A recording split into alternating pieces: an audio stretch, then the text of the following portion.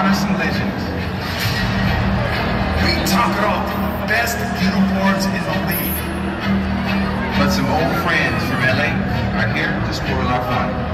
Though time has passed, there's still some bad blood.